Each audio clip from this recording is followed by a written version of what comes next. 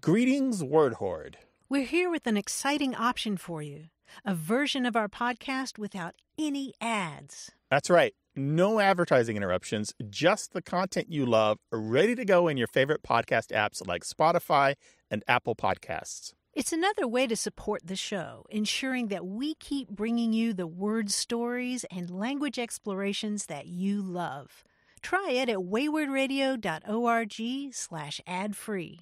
And it's affordable. For just a small subscription fee, you can enjoy A Way with Words uninterrupted, except by us. Plus, it makes a great gift. Know somebody who loves language as much as you do? Give them the gift of words. Easy to sign up, easy to enjoy. It's the same A Way with Words, just streamlined for your listening pleasure. Go to waywordradio.org slash ad-free. Support us, support the show, and enjoy an ad-free listening experience. waywordradio.org slash ad-free. Thank you. You're listening to A Way with Words, the show about language and how we use it. I'm Grant Barrett. And I'm Martha Barnett. Grant, do you know what well-known candy bar is named after a horse? Well-known candy bar named after a horse. Yeah. Um, the stallion. I don't. The marshmallow stallion. I don't know. I, just made that. I have no idea. Well, no, imagine you're standing in the checkout line and there's all this candy Uh, in front oh, of you. uh, hundred thousand dollar bar. right? Because that's like prize money. well, it could, it could, maybe it is. Baby Ruth? No, that's baseball No. player. Mm, Mars bar? I have Uh, no. I have no idea. Snickers. Oh, is it really Yeah. named after a horse's snicker? Oh, Well, after after a horse that was named Snickers. oh, I see. Franklin Mars, the founder of the Mars Candy Empire, had a farm Mm-hmm. in Tennessee. It was called Milky Way Farm because he had made a bunch of money off of Milky Way candy bars. And he had a favorite horse there, and the horse was named Snickers. And so when it came time to name his new candy bar, he named the candy bar Snickers. Oh, that's nice. How sweet is Yeah. that? For a second there, my mind went a different direction of saying like moon pies, horse pies. Maybe there's a connection. What? No, but that's wrong. So anyway, I learned this the other day, and ever since, of course, I've been having a blast looking up the stories of how As candy bars does. got their names or different candies. I'll give you one more. Yes, this please. is also from the Mars family. Mm-hmm. Uh, Franklin Mars's son was Forrest Mars, and he got this idea to make a particular candy that was chocolate with a hard shell. And then he approached Bruce Murray. Mur- Murray was the son of Hershey Company president William Murray, and said, "Hey, do you want a stake in my company? I'm going to make these little little candies." And they ended up Mars and Murray ended up calling their candy by their initials. Oh, M and M's. M&Ms. Oh, oh, oh, okay. But I have a couple more of those for you to think about, and I will save them for later in the show. And we're looking for your questions and stories about language and anything related to how we talk and why we talk that way and what it's all about. 877 929 9673. Email words at waywordradio.org and talk to us on Twitter at W-A-Y-W-O-R-D. Hello, you have a way with words. Hi, this is uh, Susan Cruz, and I'm calling from Iowa. I have a kind of a question for you guys. Okay, shoot. Um, I grew up in a very large family. There was 11 of us kids, Wow. and Wow. uh, you know, my mom was always busy. There was always chores to do, and there was always times as a child you didn't do what you were supposed to do. Um, and my mother had an old saying that you know when she was angry at us for whatever it was, for me in particular, not you know sorting the laundry or whatever it was, but she would say, "You're not worth your weight in salt." And you know, as an eight-year-old child, you really didn't know what that meant. So I just thought I'd throw it out there to you and see if you could tell me what that's all about. You're not worth your weight in salt. Yeah. You have to have these different sayings. When you have 11 kids, you just need to shut stuff down. I right. I think that's probably true. Susan, Susan, what did you think it meant? Uh, Well, obviously, I wasn't worth something um, Uh-huh. to her at that moment in time, but how it related to salt, I had no idea. Boy. And um, you know, as far as I know, salt is pretty cheap. So, Well, I didn't really know. I just knew I was in trouble. Yeah, it's interesting because historically salt has been so valuable as a commodity. Back in ancient Rome, uh, soldiers were paid in salt, sometimes literally, or sometimes they, they were given a salt allowance to uh, to buy salt because, you know, you, to preserve your food before fr- refrigeration and that kind of thing. oh, sure. You you needed salt, and I, I'm just reminded of the fact that the Latin word for salt, sal, uh, is in our word salt in English, and also the Latin word salarium, which was the payment to soldiers uh, with salt, uh, gives us the word salary. So you're earning your salt that way. Um, but to be Very worth, yeah, to be worth one's weight in salt, I guess it depends on if you had a lot of salt or not. I, I wonder. Suppose it would. You know, I also wonder if it's if it's a euphemism for something else. You're not worth your weight in I don't know. It's hard to say. My mom had a lot of old sayings. This Yeah. was just one that stuck with me. My mom was one that uh, would be angry at me very often, so that ultimately led to me thinking she was, you know, disappointed in me for some reason. But how it related to salt, I had no idea. So Gosh. Yeah, so salt is you cleared that payment to the Roman legions, right? Yeah, back in the Wow. olden days. And then once they figured out how to s- extract salt more efficiently from the earth and the ocean, then that just money source just poof dried up. Became an everyday thing. So salt wouldn't have been that valuable. no, after but it still was well Hmm. into the 1700s. Salt was incredibly valuable. Well, thank you for clearing that up. It's a new phrase to me, so I'd be curious to know if uh, other people heard that version of it. You're not worth your weight in salt. Well, Susan, thanks so much for calling. Oh, sure. You Okay. bet. Thank you for your time. All right, thank you. Thanks. bye. Bye. Bye bye.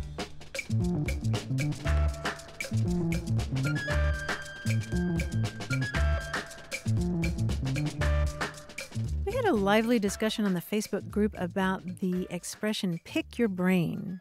Pick your brain. Yeah, somebody comes to you and says, I want to pick your brain. Can we Mhm. have coffee sometime and let me get some information from you? Yeah, they just kind of want your advice or expertise, or even just uh, they want you to say, "Go get him, Tiger." Yeah. a lot of people really like it, and a Mhm. lot of people are not so enthusiastic about it. Laura, who posted the original uh, comments about this, said, I've always disliked the idea that the person querying was eager to apply a pickaxe to my head and pry loose my own valuable knowledge.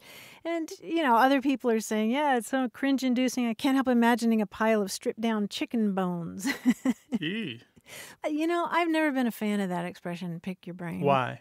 Uh, I think because back when I was a medical reporter for a newspaper, I watched brain surgery up close and personal, Oh. and so I get this I get this mental image. But it was an interesting discussion because some people said, "People, you're taking it too literally." But if you go back into history, the expression "pick your brains" or "pick a person's brains" Mhm. apparently refers to like picking a pocket, picking somebody's pocket. Oh, I see. Isn't that interesting? Mhm. So, and I personally would rather have somebody approach me and say, "I'd like your advice." Right.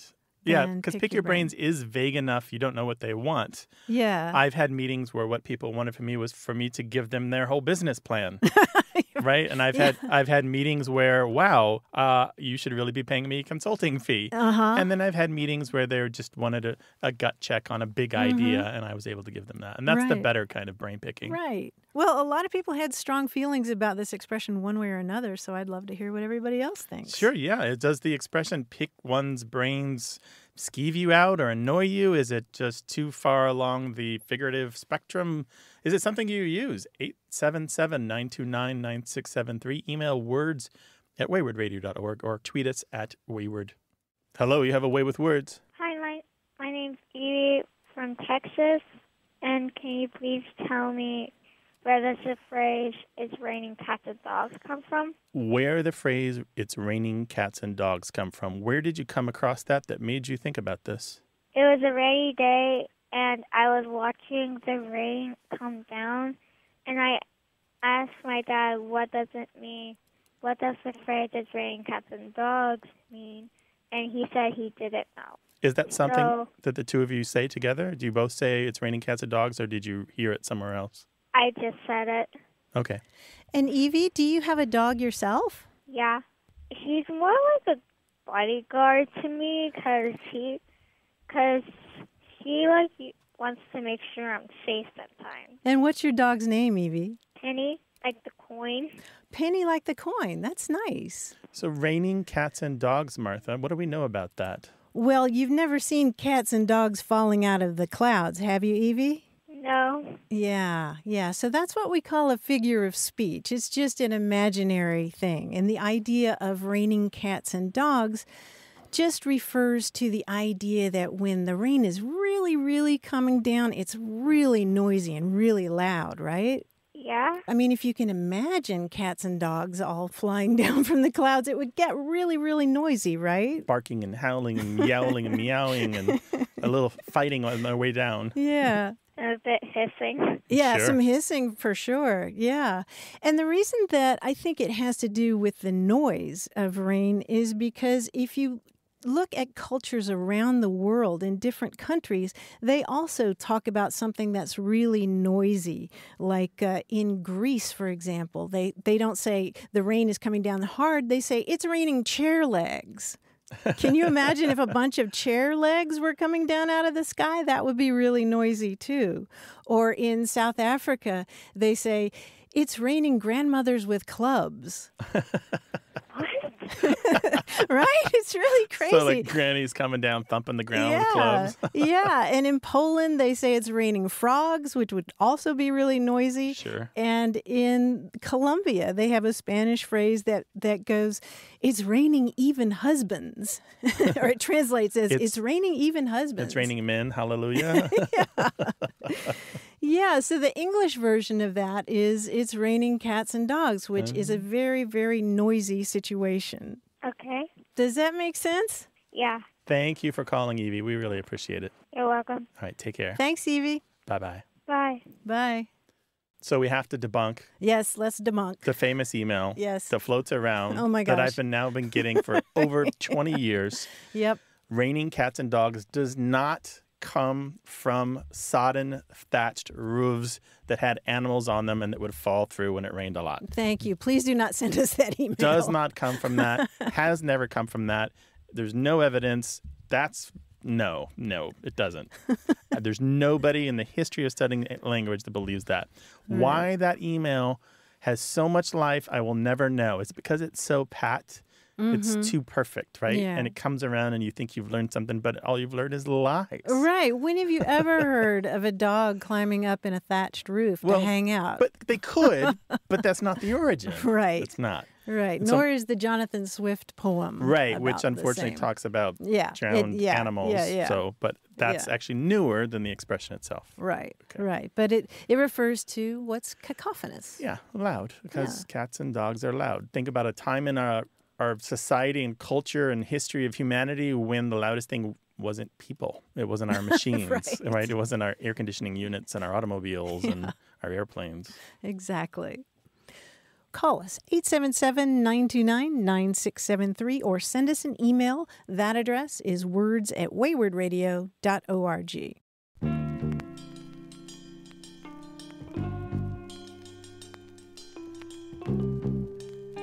I came across an elaboration of a phrase that I really like. You've heard people say, oh, that looks like hell. My room looks like hell, or something like that.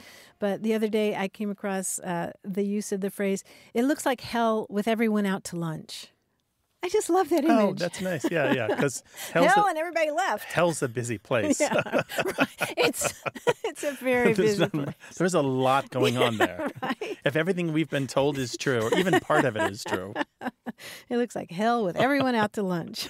hit us up on Twitter at WAYWORD.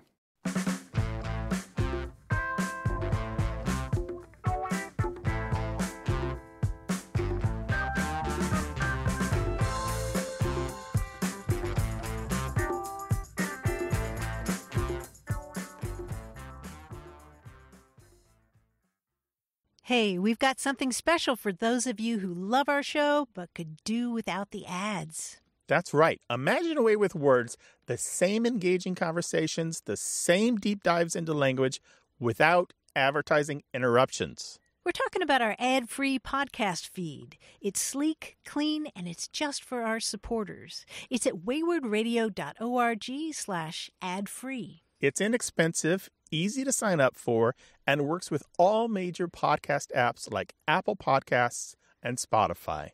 It's an affordable way to support the show and get a seamless listening experience. And if you're feeling generous, why not give a subscription to another A Way with Words fan? That's waywordradio.org slash adfree. Sign up today. Your support means the world. waywordradio.org slash adfree. Thank you. You're listening to A Way with Words, the show about language and how we use it. I'm Grant Barrett. And I'm Martha Barnett. Joining us on the line now from New York City is our quiz guy, John Chaneski. Hey, John. Hey, Martha. Hey, Grant. Hey, what's up, bud? You know, I like to think of myself as sort of an ambassador to different kinds of puzzles and games. And one of the uh, places I like to go is sometimes is board games. Now, this quiz is inspired by a party game, a board game called AKA, as in also known as. It's a party game invented by my friend Aaron Solomon, who's a game show producer. Now, in AKA, you have to guess a common item that's clued using, uh, shall we say, other words. For example, uh, in the category of card games, the clue is catch me a salmon. And the answer is Go fish. go fish. Oh. Got it. Right. Very good. Yeah. If you want to edit in as if you got the answer, go for it. Yeah, that's good. I've adapted the game a bit. I'll clue an item for you both. And if you can't get it, I'll give you the category it's in. And uh, let's see how we do. For example, if the clue is the starvation sports, can you think of an answer for that one? The Hunger Games? Yes, The Hunger Games. It's a Jennifer Lawrence movie franchise. Read the category. Very good. Here are some more clues inspired by the game AKA. A noise rabbit. A noise rabbit. A noise rabbit. So something bunny? Oh. Yeah. Bugs bunny? Yes, that's it. Bugs Oh, Bunny. I was thinking a noise is two words, not Yeah. one. Oh, sorry. It's my. Uh, how can I possibly pronounce a noise and a noise differently to, to have it come across? I don't know how. A noise rabbit. Uh, here's the next one. In between bride. In between bride. Yeah. Midwife. Oh. Yes, midwife. Nicely done. Yeah. How about this one? Plant store university. Nursery school. Oh, good. Yes, nursery school. Novel assembler. Bookmaker. Ooh, good. Bookmaker. Yes, very good. You're going to be very good at this game, Grant. How about this one? Aquarium lid. Ooh. Aquarium Tank lid. Tank top. Tank top. One for Martha. Yes, very good. How about a roof enthusiast? Um, uh, ceiling fan. Oh, good. Yes, ceiling fan. Roof Nicely done. How about, I know you've heard of this one, swaddled swine. Pigs Pig in in a blanket. Pigs in a blanket. Good. It's just making me hungry. How about the correct siblings?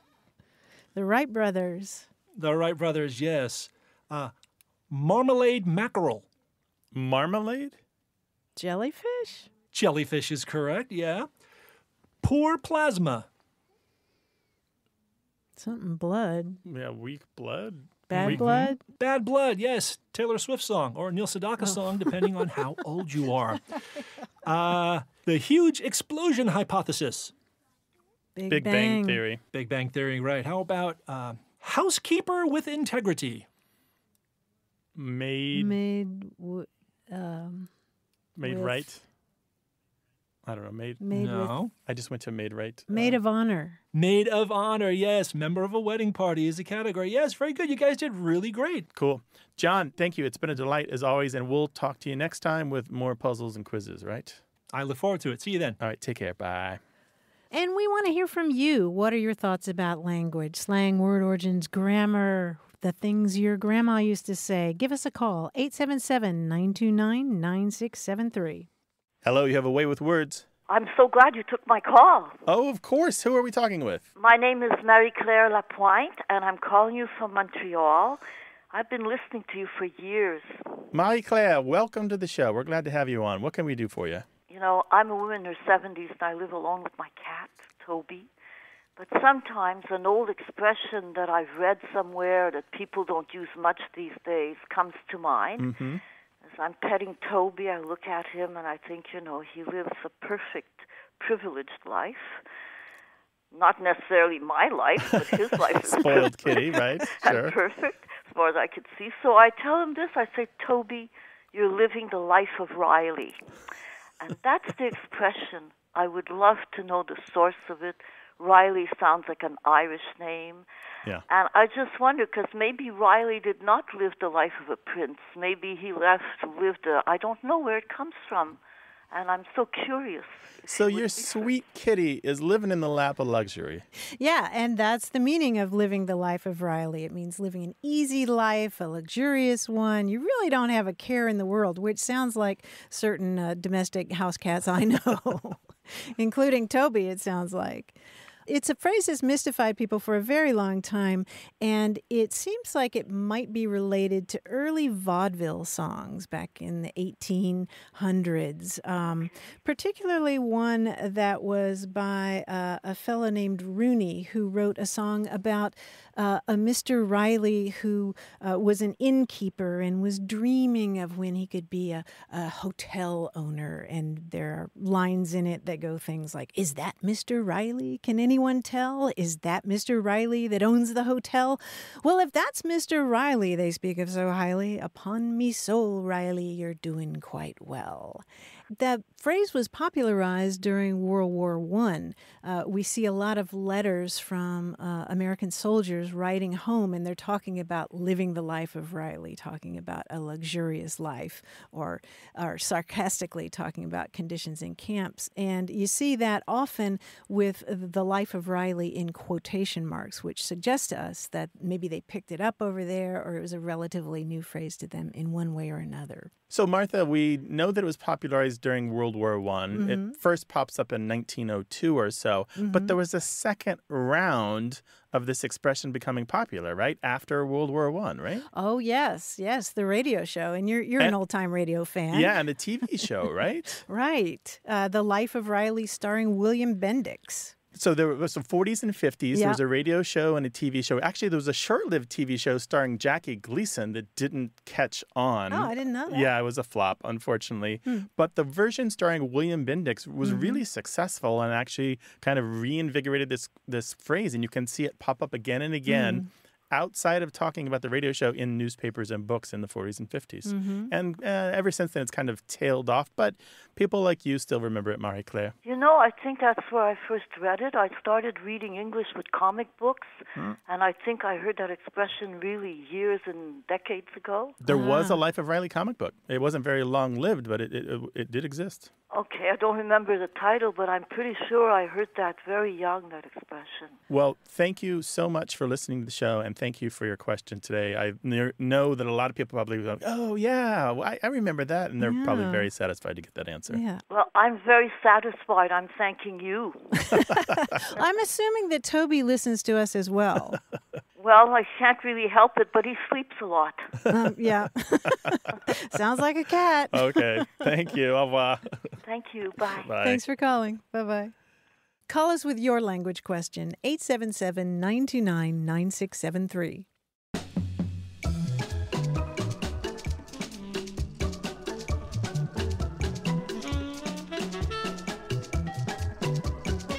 When I was in Alaska recently, I got to see puffins in the wild, Oh, and that was nice. thrilling. You know, they, they have these comical little faces, mm-hmm. kind of white faces and multicolored beaks, and they look really funny when they try to fly. They just their wings go so fast. Do they fly? Oh yeah, Okay. yeah, yeah. They're they're out there in the water, and then they they try to fly, and it's just kind of hilarious to watch them.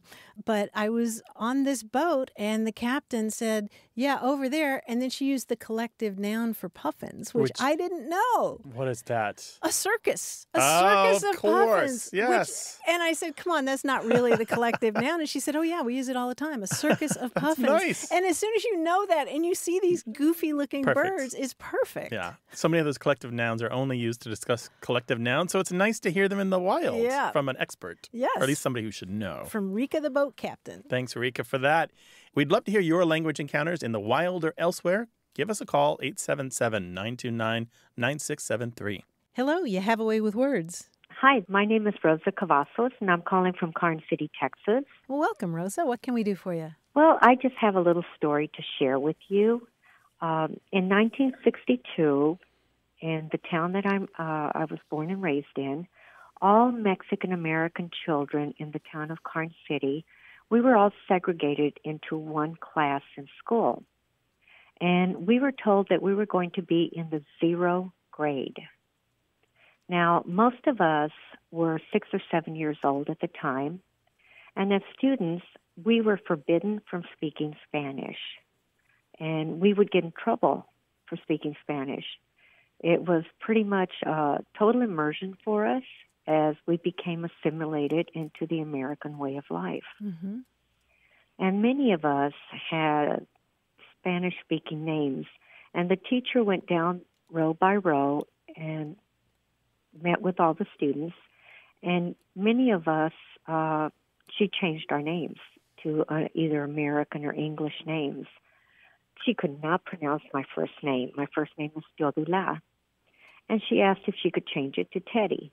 And I told her no. Then she asked if she could call me by my middle name of Rosa, and I agreed. So your first name was? It still is. Uh, it's Teodula. But since then, I have gone by Rosa. Can you spell that name for us? Uh, T is in Tango, E is in Echo, O is in Oscar, D is in Delta, U is in Uniform, L is in Lima, A is in Alpha. It sounds like I you've spelled. the Air Force. Oh, Sounds like you've spelled that many times before for people. yes, many times. So you still go by Rosa because of the decision of this one teacher. Correct. Uh-huh. Correct. And how did you feel about being assigned a different name? Because it was my middle name, I was okay with it. Mm-hmm. But nobody at home called me by my middle name. They do now because it's been so many years. Mm-hmm. And the philosophy being that by Americanizing your names and forcing you to speak English, that you might incorporate into the larger society better. Correct. And do you regret that? Did you retain your Spanish speaking abilities? Well, interesting uh, that you should ask that. I have. I've maintained Spanish and have spoken it all the time. Uh, stationed in Spain for four years, and surprisingly enough, I came back to my hometown after serving in the Air Force for over 37 years. Wow. And I am currently the eighth grade Spanish teacher. Oh. Fantastic. well, it all comes around, doesn't it? yes, I've come up, up, up pretty much full circle. and so when people from Spanish speaking heritage come into the school now, what happens? Uh, well, interestingly enough, we now have um, English as a second language. There's classes that are, uh, I believe, being taught bilingually. Uh, in my particular class, I couldn't give them total immersion in Spanish. I would lose them all. Mm-hmm. Hmm. So I'm slowly having to, you know, go back to the basics, and the basics are learning how to pronounce the letters in Spanish Mm-hmm. learning how to pronounce the numbers in Spanish. So it's a very slow process. Mm-hmm. Um, and, you know, we did have a, a cultural lesson uh, last week. And I told him, I asked him, okay, this is how it was like speaking Spanish in the past. This is how it was viewed before 1969. And I asked him, you know, how is speaking Spanish currently viewed? So they had to ponder on that. And I gave them the example, well, you're in a Spanish class. And I also asked him, you know, how will Spanish help you or others in the future? You know, and we talked about job opportunities, traveling, being able to communicate in more than one language. Mm-hmm. So when kids come to the school now and they speak Spanish as a first language, they find themselves accepted for who and what they are. Yes, cultural competence has come a long way around here. Hmm. And uh, yes, Spanish speaking is allowed. You know, it's not frowned upon like it used to be. I'm thinking about one fact that surprises people once they start to study linguistics as a whole, which is that monolingualism, speaking just one language, is actually rather rare. And most of the world speaks more than one language. Americans who are monolingual are unusual. Yes, and especially when you know I had the opportunity to travel the world, uh, especially in Europe. Everybody knows at least two languages. Mm-hmm. Yeah, at least. Yeah. So what we're seeing here is kind of a restoration of the American language scene to what the rest of the world has long been doing, right? Yes. Yeah. Well, Rosa, thank you for calling and sharing these memories. These are these are really great to hear about and talk and it- about. Yeah, and the, it's interesting the distance that we've come in Mhm. accepting people from other cultures and knowing that they too are a part of the larger American fabric. Yes, it's about time that we say it's okay for you to have your own identity and your culture, and we're going to accept you as you are. Yeah, yeah. Be here with us as you are, and we will enjoy living together. Thank you so much, uh, and I appreciate giving the opportunity to share my story with you. of course. Take care. Thanks, Rosa. Bye. Bye Bye. bye. There are experiences with language that you've had. We'd love to hear about it. Share it with us and everyone else, 877 929 9673, or email words at waywordradio.org. Hello, you have a way with words. Hello, yes. Hi. Hi, who's this?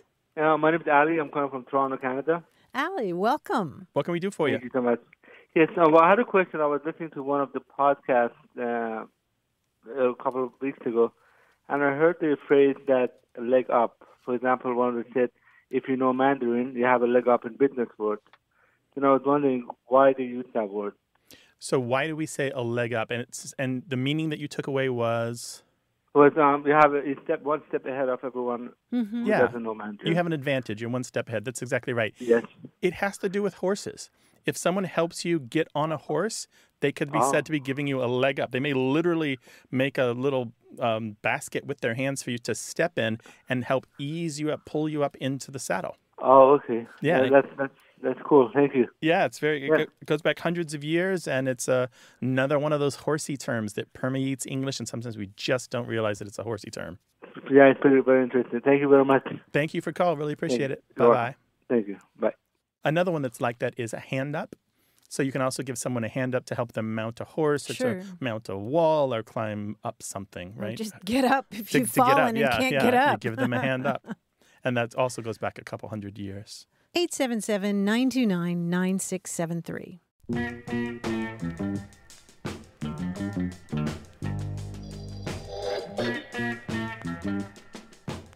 Talking earlier about the phrase the life of Riley, and there was a little article in the Paterson Morning Call back in 1909 that I got a kick out of when I was looking through the newspaper databases. Uh, the article is, is titled Wanderlust, quote unquote, Wanderlust gripped Mike, 13 year old Italian boy found by brother yesterday. And it's a quick little article. Michael Catanus, the 13 year old Italian boy who had been missing from his home, number 8 Prospect Street, since last Sunday, was discovered yesterday by his brother John. Michael, according to his own story, had been, quote, living the life of Riley ever since he bolted. He ran errands for two or three men and obtained sufficient money to pay for food. He had been sleeping in an empty freight car on the Erie Road. His brother met him accidentally in Eastside Park. He was escorted to police headquarters for the purpose of receiving a scare and then taken home. John Catanus, the brother, said last night that he could not account for the youngster's wanderlust. He says he expects to keep him home hereafter, even if he has to tie him up. and I don't know, these little windows on life that you Yeah. get when you're going through the old newspaper databases. I mean, that kid sounds like he had a blast Yeah. running away from home. I, I found something recently. There was a guy by the name of J.W. Abert who worked for the topographical something or other. They were mapping out the west and southwestern United States, and there was a little clip that suggested he'd been reposted from Utah to, I believe, Virginia. But the way that they wrote it made me think that he was a spy. And I so want to find out if J.W. Abert was a spy. It was very interesting. Old newspapers, man. It's more than just language. There goes your weekend. you want to talk about language? Call us 877 929 9673.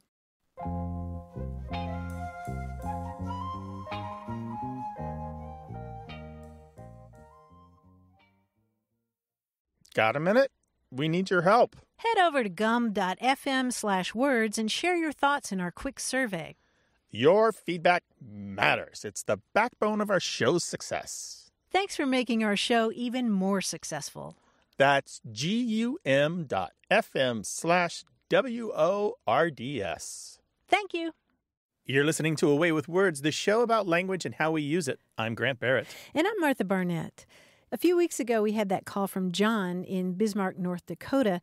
He was participating in an online program for military veterans, and part of the program included a discussion about how to describe one's emotions. Say you're talking about a scale of emotions from 1 to 10, 1 being clinical depression, and 10 being euphoria. How do you talk about that emotion that's right in the middle? What is number five? What is the word for that? And when we put the word out, we got a lot of response on social media, email, and on the telephone.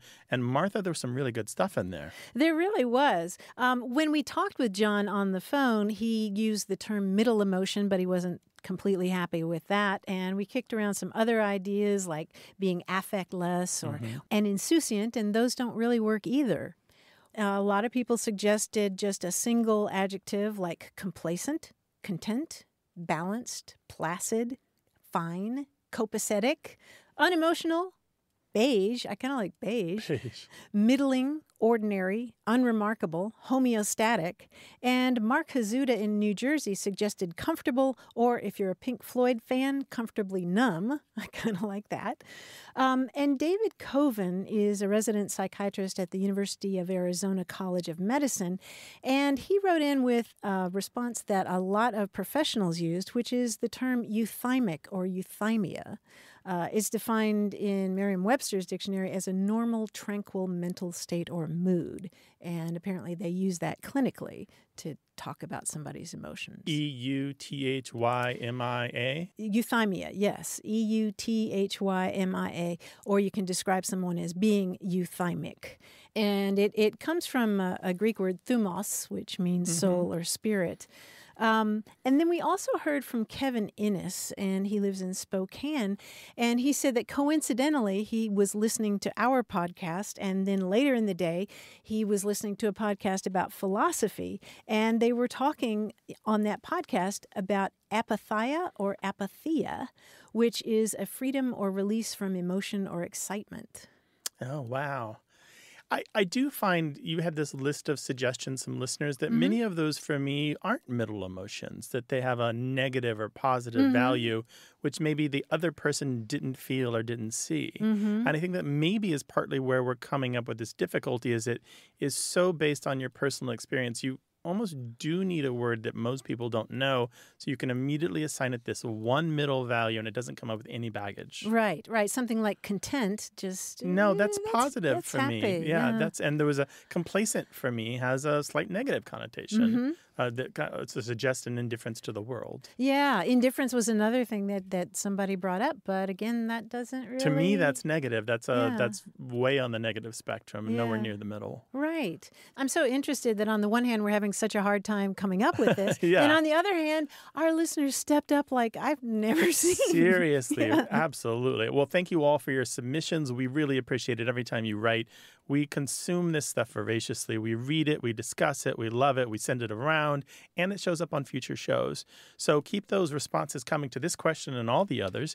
You can always email us words at waywordradio.org. Talk to us on Twitter at W-A-Y-W-O-R-D or call us 877-929-9673, toll free in the U.S. and Mexico. Hello, you have a way with words. Hi there. This is Tom Ryman calling from Minneapolis, Minnesota. Hi, Tom from Minneapolis. Well, welcome. What can we do for you? Uh, I'm a fourth year medical student uh, here in Minnesota, and I've loved medicine for a lot of reasons, and one of them is there's a lot of good language in it oh, yeah. from all sorts of origins and all sorts of languages and with lots of good stories. Um, but one kind of newer phrase that I came across was um, last year on my surgery and emergency medicine rotations. I had a lot of people who would say, if, if something was done well, they'd say, strong work on that.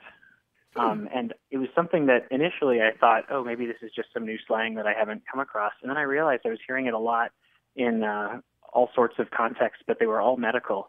Um, I didn't really hear it anywhere else, and other friends did, hadn't heard it outside of medicine. So I did a little bit of Googling, and it was kind of hard to tease that apart from some things like strong work ethic Mm-hmm. came up. But um, I did find a few message boards that talked about it as a specifically um, medical thing.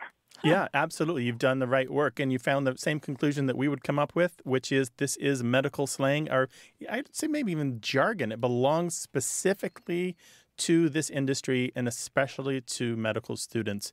We had a call um, on our voicemail a while back from somebody who had the exact same circumstance. She'd never heard it until she started her surgical residency, and she heard it everywhere around her from the surgeons and other people in the medical fields. And um, it's not uncommon for you to be immersed in something and suddenly just find yourself awash in this new language. And I think you may also have heard things like pimping. Do you know this one? Yes, I do, and that's when I I think might have been featured on the show previously. That's right. We did talk about it. Yeah, it's when they when uh, uh, the teaching doctor basically badgers the student doctors to ask them their information on a particular patient or subject. Right. Is that your understanding? Right, and they and they keep coming at you with harder and harder questions until, Right. until you fail. That's right. Right. Because the goal is to break you.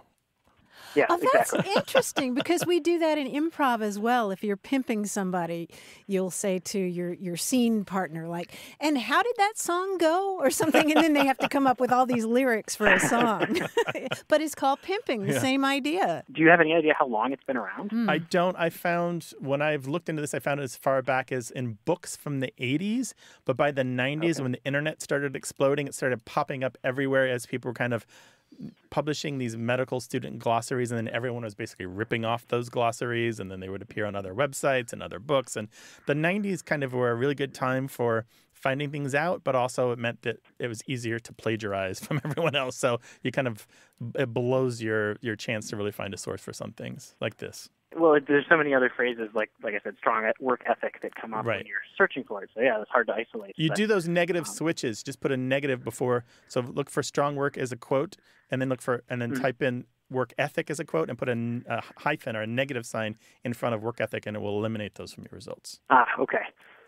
That sounds good. And doesn't really come up in other specific jargons, or No, it just I I know not in not with this kind of frequency. No, but as a particular bit of medical patter, it's very firmly in the medical realm. And isn't that interesting because it doesn't seem like it has a particularly medical origin? I can't imagine what that would be, but it's interesting that it hasn't jumped over to other fields. No. right? And I think because it has a sort of bravado sound to it, um, Mm-hmm. I thought maybe it was just the way that surgeons talked or. Hmm. emergency docs talk because they have sort of a culture like that. It is so well known that not only does it appear in glossaries, but you will see it on medical television shows. They have they have totally adopted this. Their medical advisors who help them try to be more authentic will insert this or have this available to the script writers. Huh. what a job. what a job. Well, good luck. Mm-hmm. Well, You're in fourth year. How many more years to go? Well, this is my last year of school, and so I'm applying to residency right now. Okay. Well, good luck with that. I know that's kind of nail biting. A little bit, yeah, but we get through it. Tom, I have a feeling that you can uh, call us back in the future with lots more examples. yeah. Yeah, We'd love I'm to hear sure I will. you. All right. Okay. Take care. Thanks for calling. Really appreciate it. All right, thank you. Bye. Alrighty. Bye. We'd love to hear about the jargon from your workplace, so give us a call, 877 929 9673, or write it all up and send it to us in email. That address is words at waywordradio.org.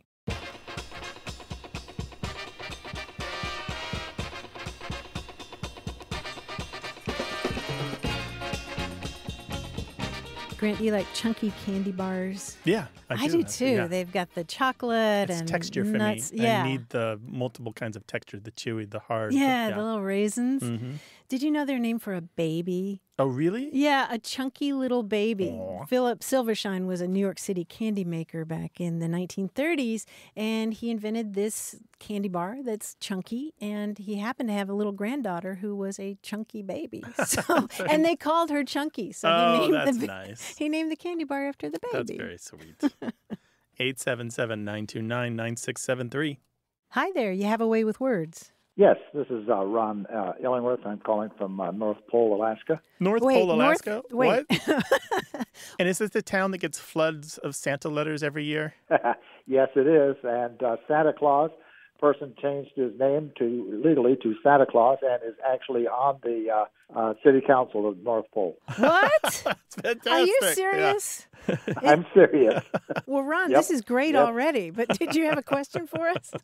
Uh, I did. Uh, when I was growing up uh, in Iowa, uh, my aunt, who was um, the eldest in a, a family uh, and and probably about 20 years older than my mother, uh, had an expression that she used uh, for us uh, whenever we would go out and, and be doing something. She'd say, uh, "Don't get into any jackpots." And we took that to mean something along the lines of don't get into trouble or, or you know don't do something that would get you into trouble, Right. things like that. But uh, I've never heard other people use that expression. So this is in Iowa. Where were you in Iowa? And how long ago would this have been? Iowa, uh, it was uh, in uh, Council Bluffs. Council and, Bluffs, uh, okay. she was actually uh, born in the Sandhills in uh, Nebraska, hmm um, but uh, this was in Iowa.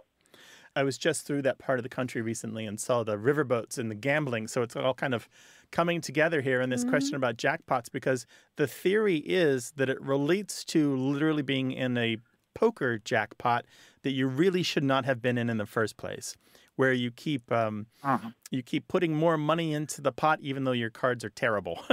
so you're you're kind of stuck. And the, and the only way out of this is either just fold and lose your stake and lose the money that you put in, or to tough it out and hope that everyone else folds because you've managed to trick them into thinking you have great cards. Hmm. So that's the that's the muddle. That's being in the muddle part of it. Like it's, it's basically playing out of your depth in poker. Okay. Yeah. Okay. So you're you're in a Uh, the, the the the poker stuff and and the riverboats and all that, uh, the, the gambling casinos and things that are there now, we're not there. Uh, that's all uh, pretty recent stuff right. um, in there, but that doesn't mean that it didn't have anything to do with that. Yeah. Yeah, it doesn't. I didn't. I didn't mean to suggest that it comes from that part of the country or those riverboats. It actually goes back to the 1800s for sure, and it has a nice other later use. Although it's possible this is the earlier use, and we just haven't found it in print. Jackpot referring to a snag of logs in a river, either on land or in the water. Uh, just the kind of thing that might interrupt the flow of work or block a, a, a thoroughfare, or that needs to be cleared before you can farm. That sort of thing. Mhm. So metaphorically, it's a tight spot or Yeah. a predicament. Yeah, a, a mess though. A, Yeah. a mess of just just difficult stuff that you have to Mhm. solve. Yeah, it was used in logging sort of s- sarcastically, right? Mhm. The jackpot. Yeah. That I mean that sounds uh, more uh, like uh, what I think her use was. Yeah, but Mm-hmm. the problem with it is the dates don't match up. The uh, gambling use, the figurative gambling use, and the literal gambling use is older. And then it looks like, Mar- as Martha said, the logging and forestry use is is not only later but sarcastic. Whereas they're saying, "Oh, look, a lot of logs. That's what we're here for." Oh, jackpot. When really it's a kind of a mess that they have to handle. Uh-huh. Yeah, that that that that could very well be uh, what uh, prompted that because it, it seems like that's a legitimate comparison. Yeah. Mm-hmm. Interesting. Okay. Cool. Thank you for your call. We really appreciate it, Ron. And do not get into any jackpots. yeah. and tell Santa hello, of Unless- course. I will try not to. Thank Unless you. you've got pocket aces. right. Mr. Claus is watching, clearly. Take care now. Yeah, exactly. Thanks, Ron. Bye bye. Uh huh. Bye. Grant, was that the first phone call we've gotten from North Pole, Alaska? I believe so. I, love think it. it is. Well, we want to hear from more of you, and we want to hear from Santa Claus, Indiana. yeah. 877 929 9673 or email words at waywordradio.org.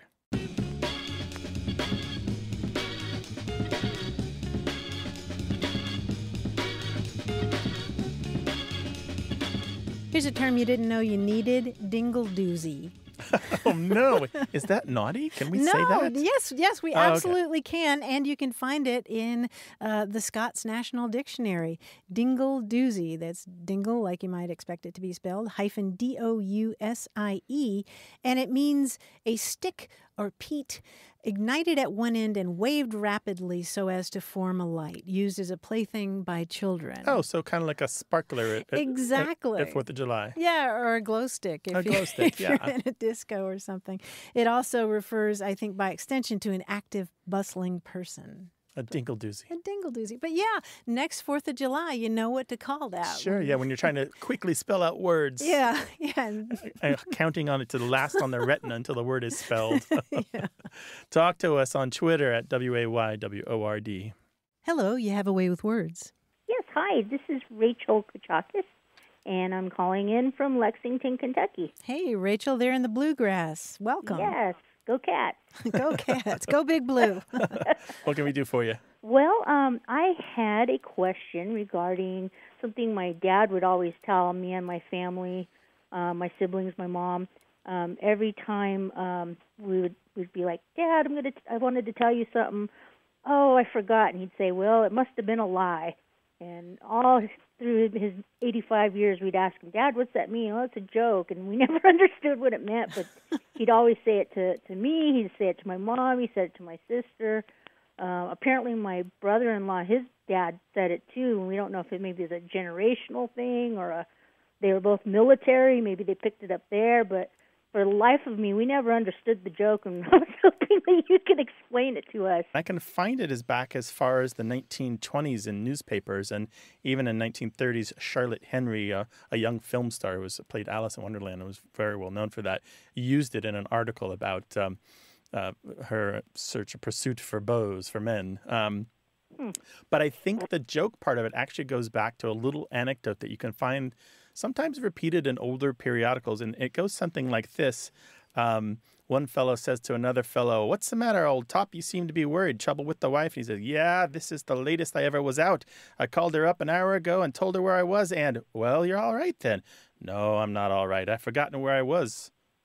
So he forgot what he told her. He said where he said he was, Oh, and so so that's the lie. So that's why it must have been a lie. You forgot a thing because it wasn't true, and it's easier to forget a thing that isn't true. Well, see, and my dad never was able to explain why it was funny. he thought it was funny. that makes sense. Yeah, yeah. Well, lots of personal humor works that way, where we think something is hilarious and uh, nobody else does. Oh But yeah, well. he thought it was hilarious. My my mom would just roll her eyes at him every time he he said it. yeah. Well, eye rolling is better than other responses. so Yeah. It must Well, have been a thank you lie. very much for for um, helping us understand um, what that meant and where that came from. yeah. Sure. Thanks for calling, Rachel. All right. Take care. Bye-bye. Bye. We know there's a word or phrase that your parent used that you're still puzzling over. You can call us about it. That number is 877 929 9673 or send it to us in email. That address is words at waywordradio.org.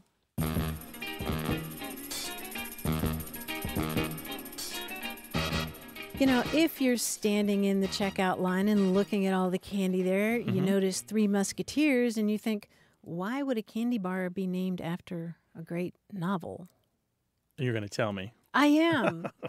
it's actually named after the fact that uh, it was originally in three pieces and they were flavored vanilla, chocolate, and strawberries. And they were marketed, the Three Musketeers bar was marketed as something that you would share with your friends. But then the price of strawberries rose, so the company dropped that as an ingredient. And it was just the chocolate and vanilla ish. Oh, gotcha. Yeah, so it's kind of that's why it's not that different than some other candy bars, even though it has this unusual name. Yeah. Okay. Yeah, but but three items and three musketeers. Talk to us by email, words at waywordradio.org.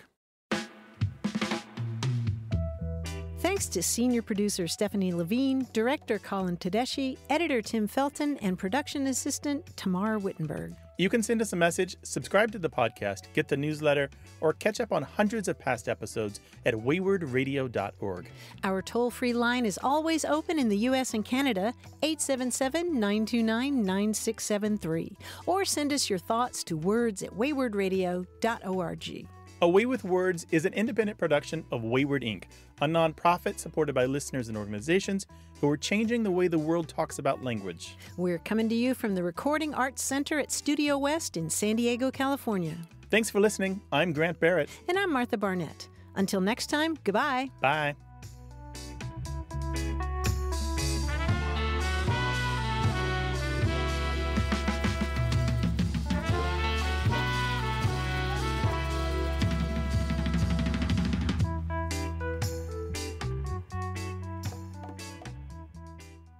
Hey, listeners, we have a favor to ask. We'd love for you to fill out our listener survey at gum.fm slash words.